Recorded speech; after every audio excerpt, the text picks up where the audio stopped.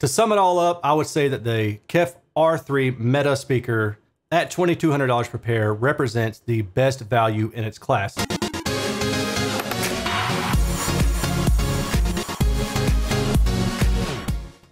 This particular speaker is a three-way design. It features a five and a quarter inch mid-range and a one inch tweeter organized in a coaxial or concentric fashion. And it's important for me to make that note that this isn't really just a standard coaxial driver.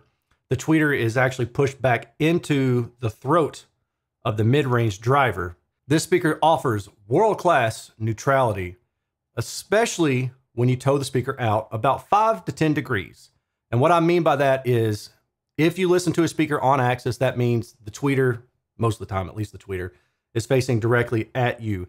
And when you toe a speaker out, that means you point it more into the room and less away from you, the listener. And coaxial concentric designs generally are designed to be placed a little bit toed out because directly on axis, there's going to be some kind of diffraction elements that are just inherent in the design that are really hard to get rid of. And unless you're paying honestly like top dollar, it's not going to be perfectly smooth. So they design them to be aligned just slightly off axis. If you don't toe the speaker out, and if you do choose to point it directly at you, what you're going to hear is a bit of a bright sound. And I'll talk about that in a second. The bass out of the speaker is pretty good. It has a different alignment than you're probably used to. Now, most speakers are going to be sealed or ported, one of the two.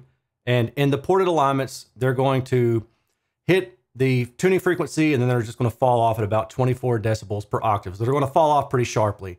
A sealed enclosure is going to hit the tuning frequency and it's going to fall off at about 12 decibels per octave. So it's not going to fall off as quickly, but generally speaking, a ported enclosure will get to a lower frequency and then fall off sharply, whereas a sealed enclosure is going to get a little bit higher to its tuning frequency and then fall off more slowly. And there are different reasons why you may want one alignment or the other. Usually it's going to depend on the room and the ability to place a speaker close to a wall. If you have to put the speaker close to a wall, usually you're going to want a sealed enclosure.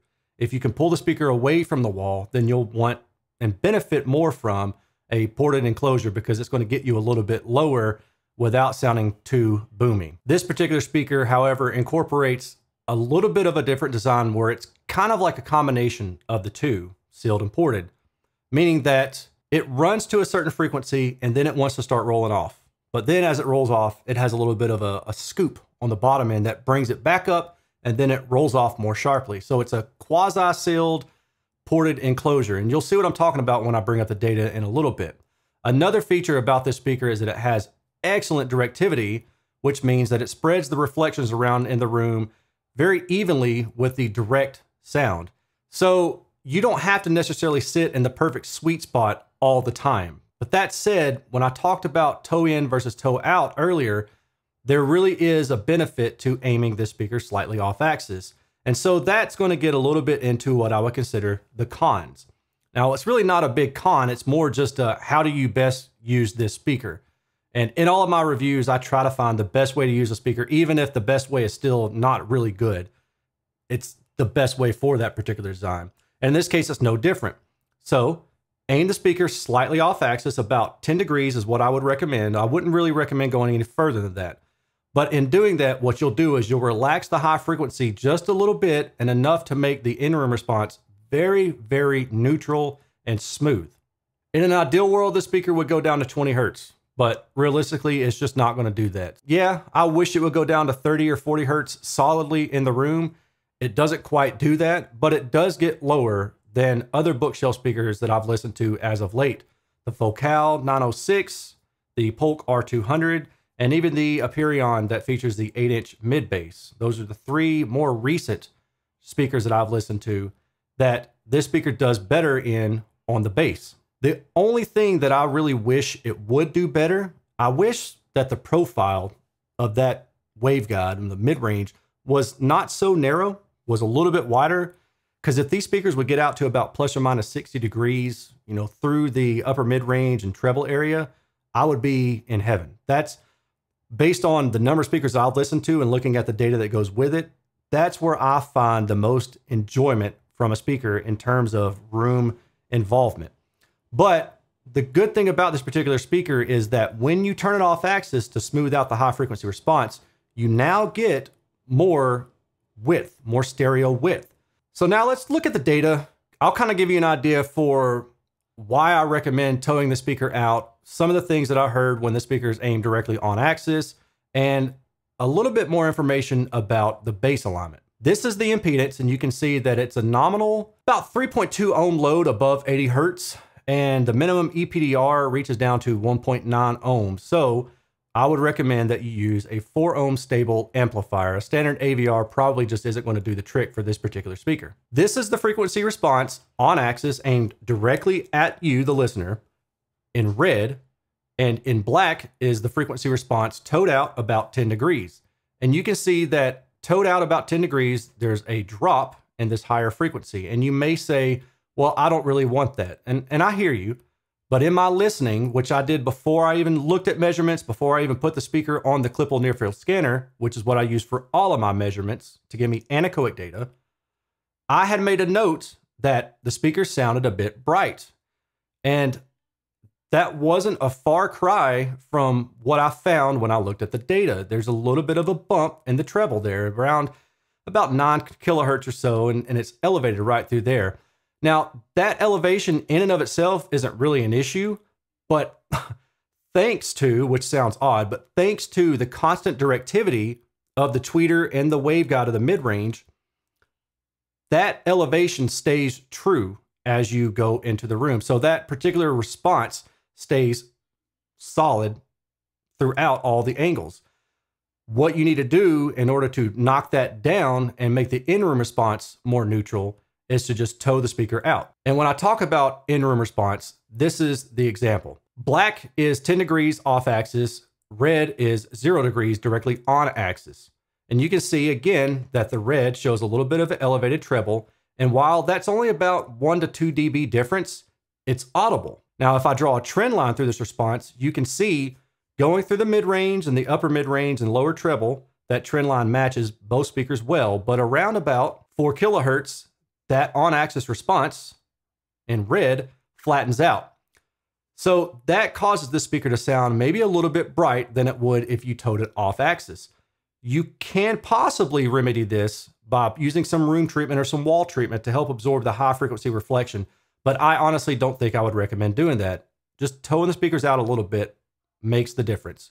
Do that. This is the linearity of the speaker when positioned 10 degrees off axis. You can see the overall sensitivity is at about 86 decibels. Its F3 is at 76 hertz and its F10 is at 37 hertz. Now look at this low end bass. Ain't that funky? This is called an extended shelf bass response. This is generally done to match typical room gain. So what you wind up with in the room is a more neutral response rather than maybe a boomy response. Now, this is going to be room dependent and it's going to be placement dependent, but it actually seems to work quite well in my room because the bass did well for all of my music down into about 50 hertz. I didn't really have any problem with kick drums like I've had out of a lot of speakers recently. I liked the bass response out of the speaker. Again, would have been great if it would have gone down to 30 hertz or 40 hertz. It didn't quite do that, but it was enough to capture most kick drum and most music that I enjoyed. This is the Spinorama data, and I mean, this looks really great, y'all. I pointed out a few different things here. Class leading directivity and sound power. The sound power response is really good, very neutral, if you want to call it that, quite linear. The on axis response at 10 degrees, so the 10 degree response, is also quite linear, which we already saw. And the early reflections directivity index down here in the dash blue is also quite linear, which means that this speaker will take very well to equalization should you find that you want to change the tonality or the timbre to suit your own liking for whatever reason. This also means that in a room with multiple seats, you're going to have really good response between all the seats up until about four to five kilohertz, where the high frequency is going to roll off a little bit more and that's going to be more seat dependent. But most of your listeners, if they're sitting off axis, are probably watching a movie. So you're probably using a center channel, so it's probably not that big of a deal. But this still matters to me because I don't sit with my head in a vise. I mean, moving a few inches one way or the other up and down is very common for me when I'm listening to music or if I want to lean over and get a drink or something like that. I don't sit all stoic. I just don't. It's it's uncomfortable. I feel like I'm not even listening to music anymore. I feel like somebody's watching me and if I move, I'm to get smacked upside the head. So I like having a speaker that has a broader horizontal response and a broader vertical response because that opens up that sweet spot. You don't have to sit in one deadlock position. You're free to move a little bit around in that seating area and you're not going to change the overall sound of that speaker. This is a horizontal radiation pattern. And I just wanted to note that this does narrow up in frequency. It's very similar to the R3 regular one. So the non-Meta R3 that has been discontinued now. The radiation narrows from about plus or minus 70 degrees to about plus or minus 40 degrees from low frequency to high frequency. This is the vertical response. Zero degrees right here is your reference axis. As you go above and below that reference axis, you can go as much as plus or minus 20 degrees and even as much as plus or minus 30 degrees. And you're going to have roughly the same sound characteristic, which goes back to what I talked about earlier about sitting in a sweet spot. There really isn't a deadlocked head in a vice sweet spot with this particular speaker. You can move around. Now, I'm not saying you can get up and move three feet to the side and it's going to sound the exact same. It doesn't work like that. And stereo itself doesn't work like that. You've got level and time differences that are going to affect the sound more than just the overall timbre of the speaker itself. But within reason, if you move a few inches one way or the other or up and down, the speaker is going to sound the same. You're not going to see this kind of vertical response from a standard two way or a standard three way design. I've never seen a two way or a three way design come close to matching what a concentric speaker can do, at least as long as it's a well designed concentric speaker. And that's what we have here. Now let's talk about output capability. This is the harmonic distortion at 86 decibels. We don't cross 3% THD until about 40 hertz.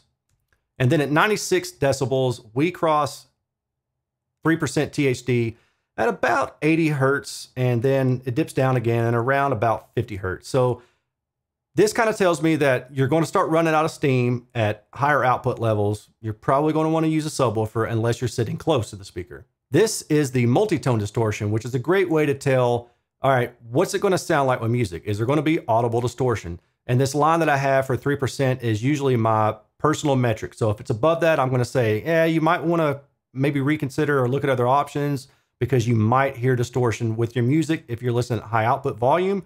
This particular speaker, I don't see that. We see a couple spikes here or there, but those to me are in the noise and it's also very high resolution. So I'm not really worried about that.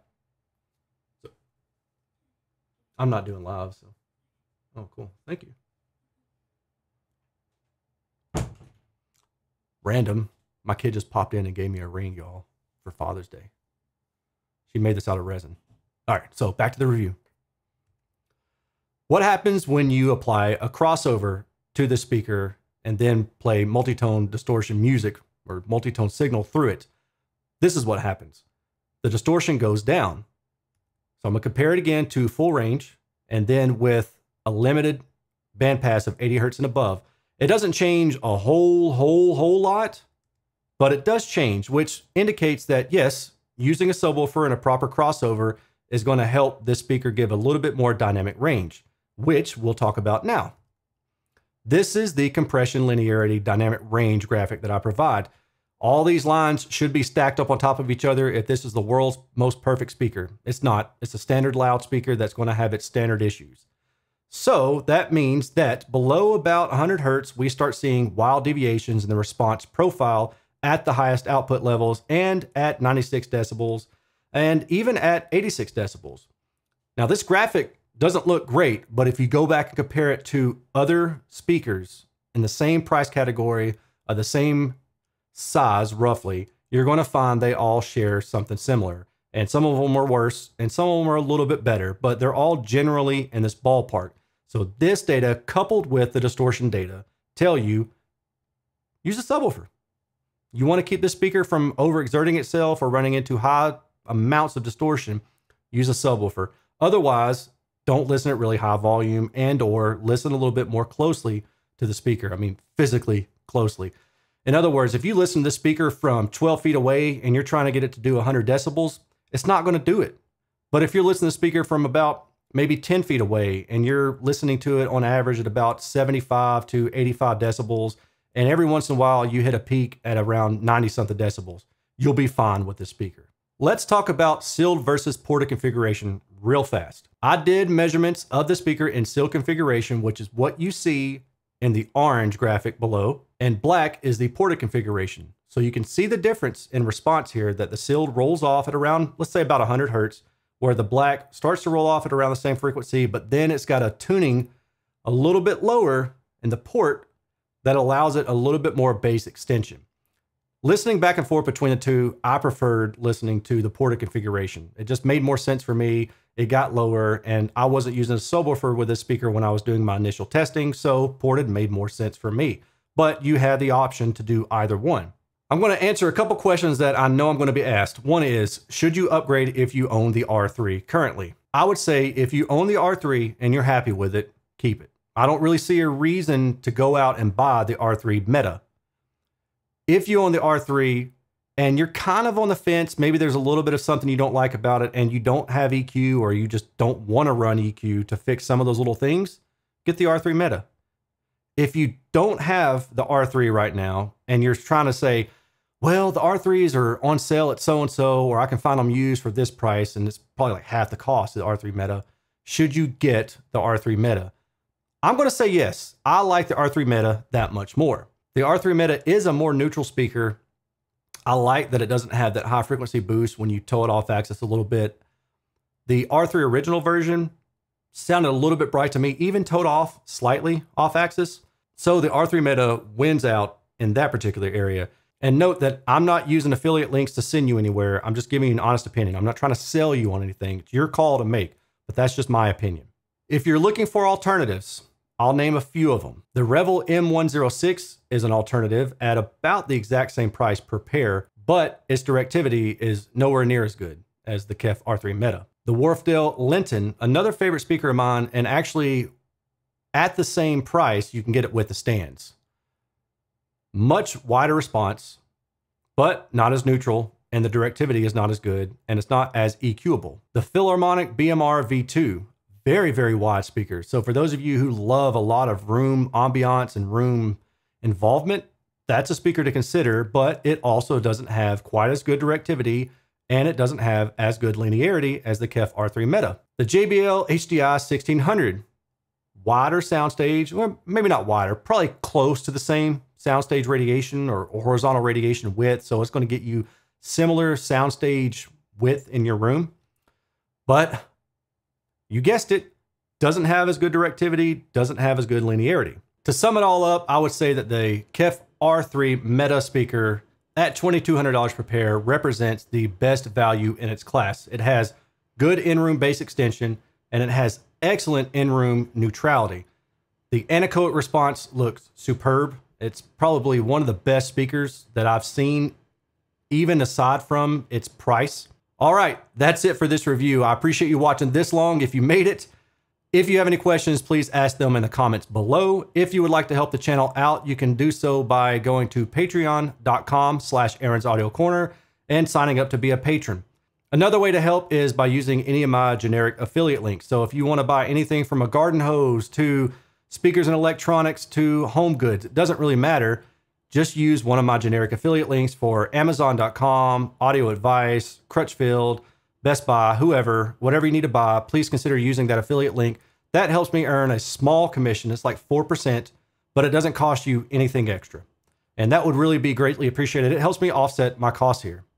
I've got to ship a lot of stuff. I spent $100 to ship two speakers last week, and I'm going to be doing more of that this coming week. So any little bit does help, and I certainly appreciate it. I will talk to you all later in the next review. Take care. Peace.